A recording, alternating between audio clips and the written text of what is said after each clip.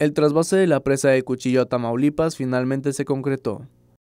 Tras meses de polémica e incertidumbre y en medio de la crisis de agua que Nuevo León no termina de superar, dos compuertas de Cuchillo fueron abiertas para enviar agua a la presa tamaulipeca Marte R. Gómez.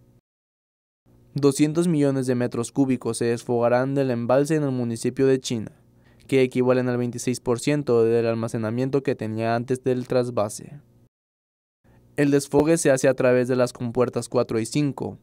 No se informó cuántos días se estima que dure. El envío de agua inició luego de que fuera anunciado el viernes por los gobiernos federal de Tamaulipas y Nuevo León, dentro del acuerdo de 1996 para el trasvase anual. Mediante un comunicado, la Conagua aseguró que con el trasvase se permite garantizar el abasto de líquido para la ciudad y a su vez apoya a los regantes del Distrito 026 de Tamaulipas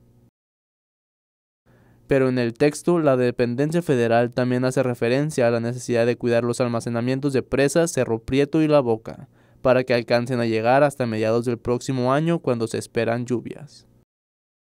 El agua desfogada llegará a la Marte R. Gómez a través del río San Juan, en el que ayer fueron rebasados vados por la crecida generada por el trasvase.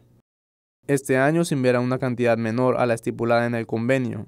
Nuevo León todavía no sale de su crisis de agua.